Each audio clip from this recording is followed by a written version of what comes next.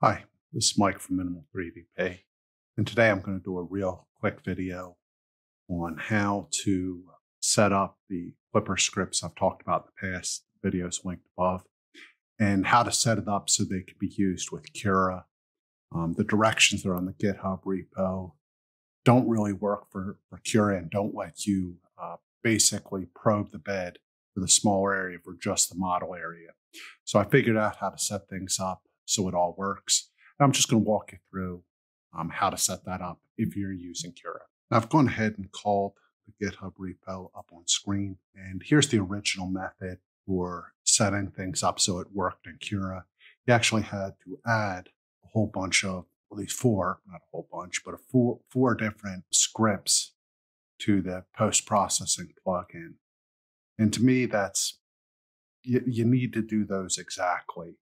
Now, what I found's easier is I found, let me find it right here, this little plugin by uh, Frank Bags on, on GitHub that you just download one Python script, add that to the post processing, and then you're off to the races. So what I'm going to do is just show how to set this up and how to download these scripts and set them up, and then where to add the start scripts in Cura so you'll be good to go. So let's get started.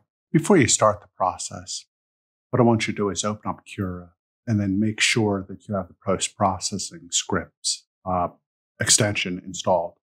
So we can just go to it, modify G code. And right now I have two scripts in there.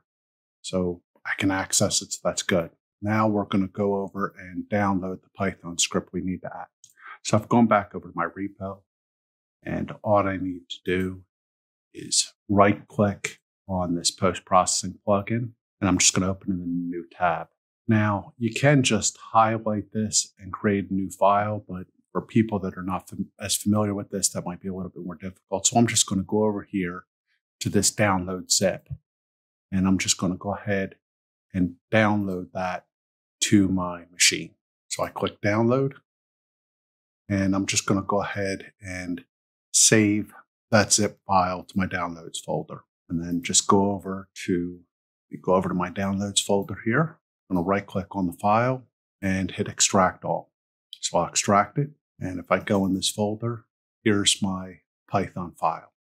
So now I need to move this over and put it in my scripts folder in Cura. And I'll show you how to do that. So back in Cura, you're going to go up here to help and hit show configuration folder and then look for the scripts folder. So now I have the scripts folder and then I'm just pasting that mesh print size.py file right here. And so I've printed it, I've pasted it in, and now I'm ready to go. So I can go ahead and close this. And then I probably want to go ahead and close and open Cura. So let me go ahead and do that. Now we've copied the script over the scripts folder. I've, I've closed and opened Cura back up. And I'm just going to go to extensions, post processing, modify G code. Now I have a script in there for doing a time lapse. And I'm going to go ahead and add another script. So I'm going to hit add. Here is the new script I just added, that mesh uh, print size. So I'm going to add that, and then I'm going to move that to the top. So now Cura is all ready to leverage all of those Klipper macros that I want to use, and it'll only probe the bed for the model size. So I'm going to go ahead and hit close here. And then let me go ahead and make one more configuration change in Cura. So in Cura, we're going to go to configure Cura, go to printers, and then use the printer I want to activate. In my case, it's my Creality Ender 3 V2 that's running Klipper. And I'm just going to go to machine settings. And then I want to edit this start G code and end G code. So let's go back over to our repo and copy the code we need.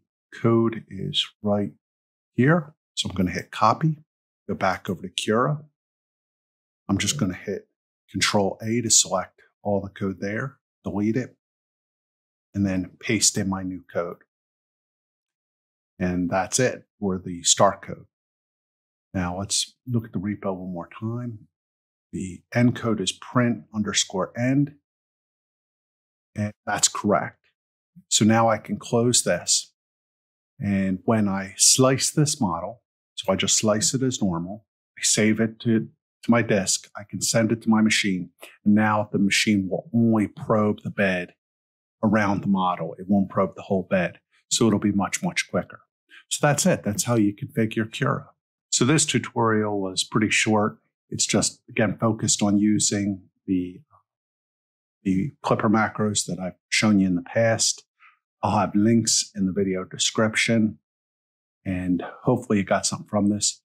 I'll be honest, I'm doing things a little quicker today. I didn't have a chance to work on um, putting together this video yesterday, and today the Eagles are playing.